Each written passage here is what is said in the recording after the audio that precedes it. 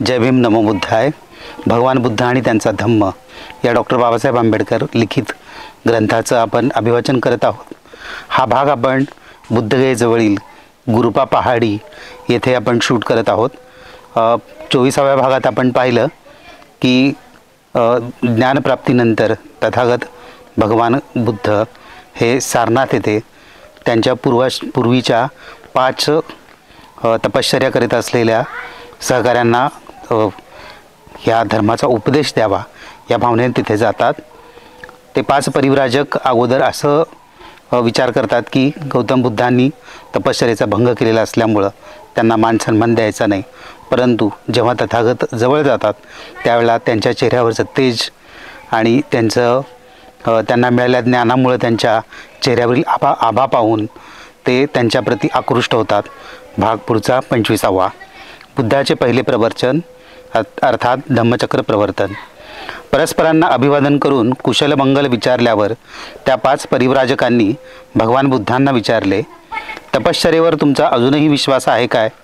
बुद्धांनी नकारात्मक उत्तर दिले. भगवान बुद्ध म्हणाले जीवनाची आत्यंतिक असे दोन टोक आहेत. दोन काठ आहेत. एक सुखभोगाचे जीवन व दुसरे आत्मक्लेशाचे. एक म्हणतो खा प्या मजा करा. कारण उद्या आपण मरणारच आहोत.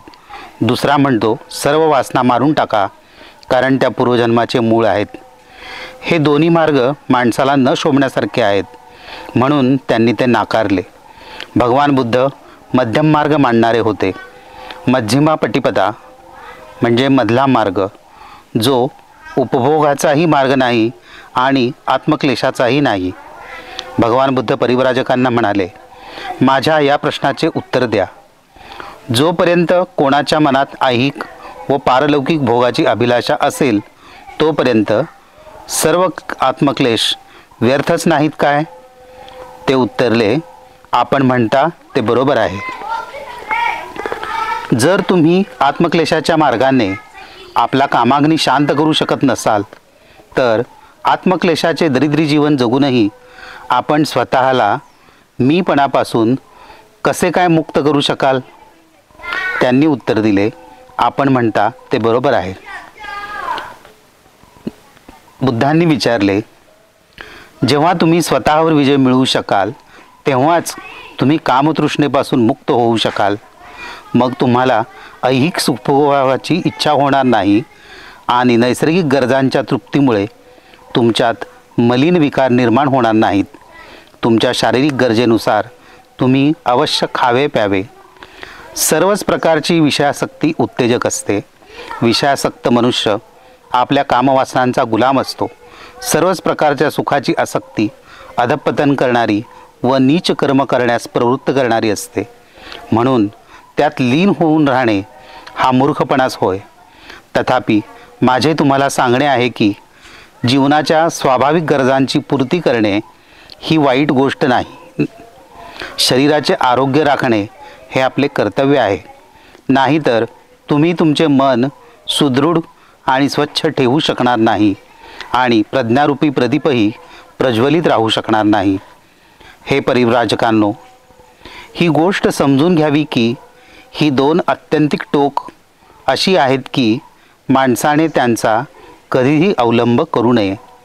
एक टोक म्हणजे ज्या गोष्टींचे आकर्षण कामवासनेच्या दृष्टीमुळे होते त्या गोष्टीत आणि विशेषत विषयासक्तीत सतत बुडून राहणे.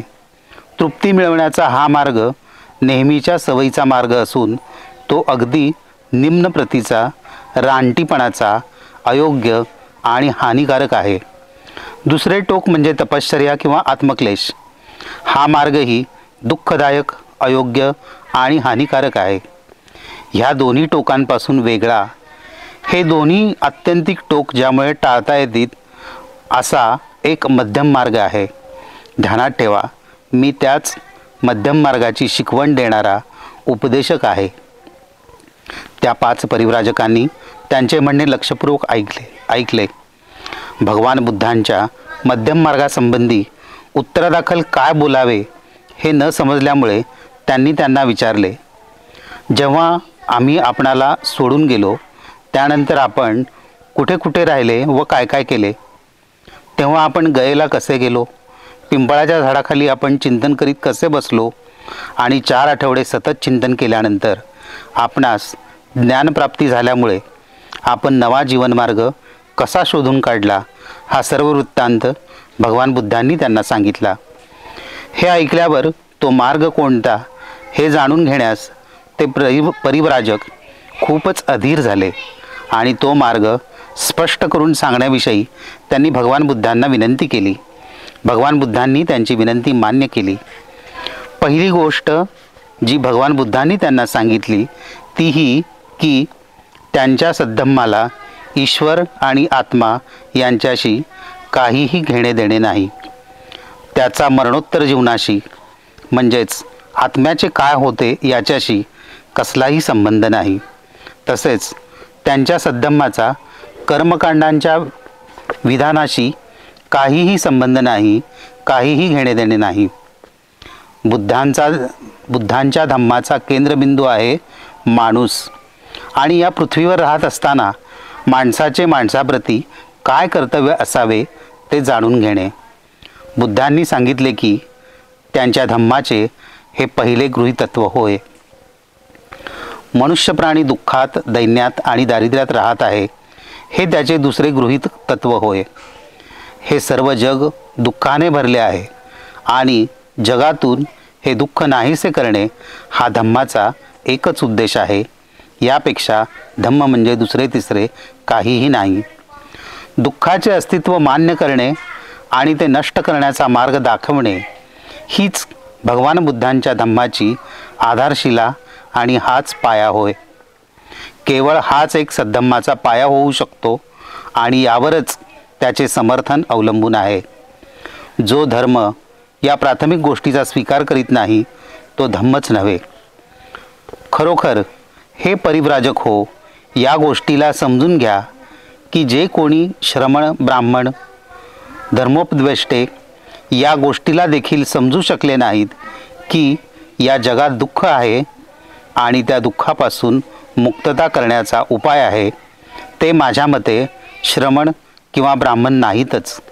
त्यांना ह्या जीवनाचा धम्माचा खराखुरा अर्थ काय आहे हे त्या स्वतःला ज्येष्ठ श्रेष्ठ मानणाऱ्यांना समजला नाही.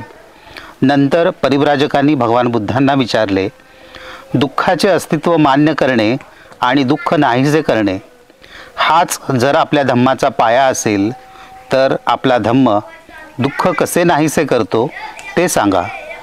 भगवान बुद्धांनी त्यांना सांगितले की या धम्मानुसार जर प्रत्येकाने पावित्र्याचा मार्ग अनुसरला सदाचरणाचा मार्ग स्वीकारला आणि शीलमार्गाचा अवलंब केला तर त्यामुळे या दुःखाचा निरोध होईल. त्यांनी सांगितले की अशा धम्माचा आपण आविष्कार केलेला आहे. भगवान बुद्धांचं पहिलं प्रवचन आपण तीन ते चार भागात पाहणार आहोत. धन्यवाद. जय भीम.